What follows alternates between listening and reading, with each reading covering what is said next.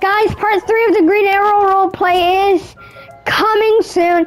So we're gonna add Shay Shay to the Green Arrow um, role play series. So Luke, uh, please get on and um, yeah, we'll continue doing it. So yeah, goodbye guys, and I'll see you in part three of Green Arrow.